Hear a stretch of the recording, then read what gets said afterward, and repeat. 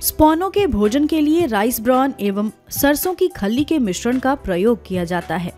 पहले सात दिन स्पॉन के कुल संचित वज़न का चार गुना भोजन दिया जाना चाहिए, जिसमें राइस ब्राउन एवं सरसों की खल्ली की मात्रा बराबर होनी चाहिए।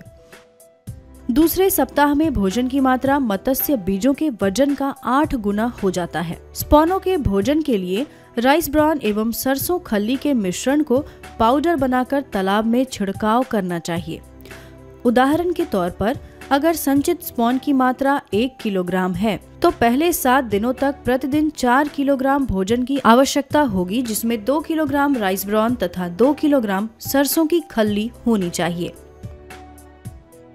आइए अब इसे सिलसिलेवार तरीके से समझें। एक से सात दिनों के जीरा के लिए कुल संचित स्पॉन के वज़न का चार गुना भोजन प्रतिदिन देना चाहिए। ध्यान रहे कि राइस ब्राउन एवं सरसों की खल्ली को बराबर मात्रा, यानी एक अनुपात एक की मात्रा में मिलाकर भोजन के रूप में देना है।